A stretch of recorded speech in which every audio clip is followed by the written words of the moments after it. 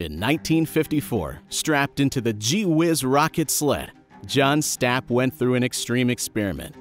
He reached a speed of over 1,000 kilometers per hour in just five seconds. A daring feat to study the human body's response to extreme G-forces. After the intense test, Stapp faced severe repercussions, permanent vision problems, burst blood vessels in his eyes, and temporary paralysis took a toll on his health. However, all this sacrifice served a good cause. This experiment led to the development of safer ejection seats and enhanced aircraft design, saving countless lives and bolstering the confidence of pilots and astronauts.